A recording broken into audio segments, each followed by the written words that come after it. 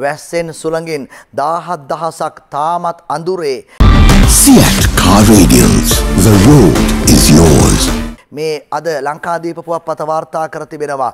ඒ මේ වනට ඇතිවී තිබෙන තත්ත්වය පිළිබඳව අධික වර්ෂාව සහ සුළං හේතුවෙන් සිදු වූ විදුලේ විසන්දිවීම් 17211ක් ඊයේ පස්වර වන විටත් යථා තත්ත්වයට පත් කිරීමට නොහැකි වී තිබෙනවා.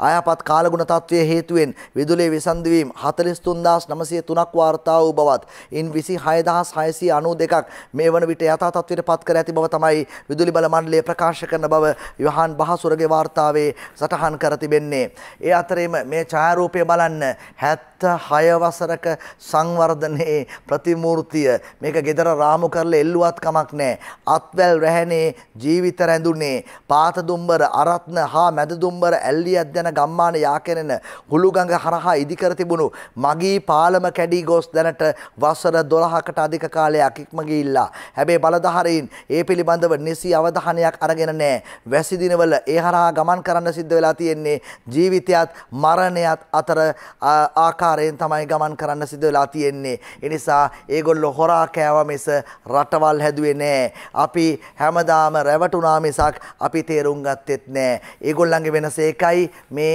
අපේ වෙනස. ගම් වතුරෙන් තවමත් ජනතාවට දැඩි පීඩා.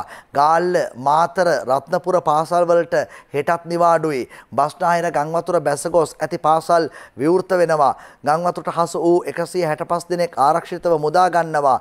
ආපදා සහන කණ්ඩායම් 50ක් ක්‍රියාත්මකයි. ප්‍රාදේශීය ලේකම් කොට්ටාශ 63කට නායෑමේ අනතුරු ඇඟවීම් නිවේදන නිකුත් කර ඇති බවයි උපාලි කරුණාරත්නත් රක්ෂණ ශ්‍රියන්ත සහ නෙත්මි පූජනී රත්නායකගේ වාර්තාවක සටහන් කරන්නේ. ඒ අතරේම රට පුරා පෙදෙස් රැසක තවමත් ගම් වතුර ගම්පහ රෝහල බේරගන්න වැලිකොට්ට අතුරනවා. මේ වර්ෂාව හේතුවෙන් රට පුරා ප්‍රදේශ රැසක් ඊයේ පස්වරු වන විටත් ජලයෙන් යට වෙලා තිබුණා.